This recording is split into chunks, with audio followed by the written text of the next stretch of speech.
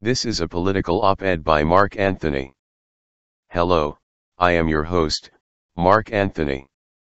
Before I begin this op-ed, let me say this, as I have always said. I have not been appointed as any kind of judge in order to judge mankind. This op-ed is of my own opinion based upon facts.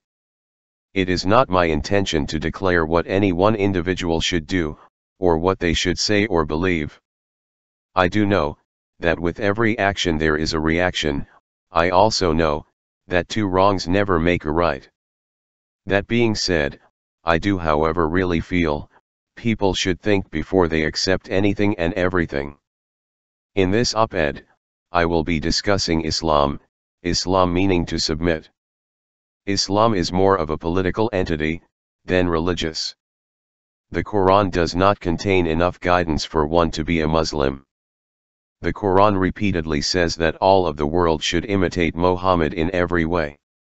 Muhammad's words and deeds are called the Sunnah. The Sunnah is found in two different texts, the Sira and Hadith. The first source of the Sunnah is the Sira which is Muhammad's biography. The other source of the Sunnah is the Hadith, the traditions of Muhammad. Political Islam is the doctrine that relates to the unbeliever, these people, these unbelievers are called the kafir. Islam's relationship to the kafir cannot be religious since a Muslim are strictly forbidden to have any religious interaction with them. The religion of Islam is what is required for a Muslim only, in order to avoid hell and enter paradise. The Kafirs go to hell whereas Muslims go to paradise, but also its doctrine demands that Muslims dominate the Kafir in all politics and culture. The Quran defines the Kafir as the lowest and worst form of life. Kafirs can be robbed, murdered, tortured, enslaved, crucified, raped, lied to and more. This domination is political, not religious. The kafir is not only a non-Muslim, but also a person who falls under a different moral code from the Muslim. The Quran has 61% of its text devoted to the kafir.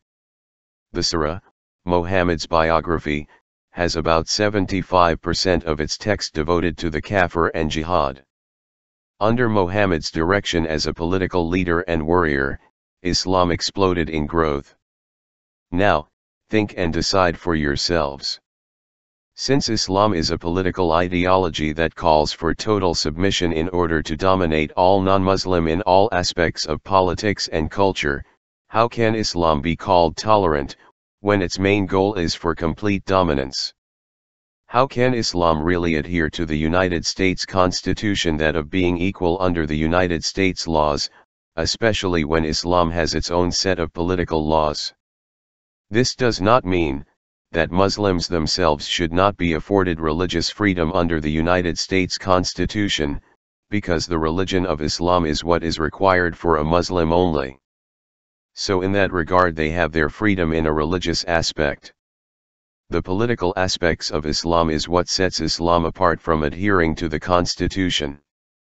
One more time. Islam, means submission. To submit. This has been a Mark Anthony political op-ed. Thanks for tuning in.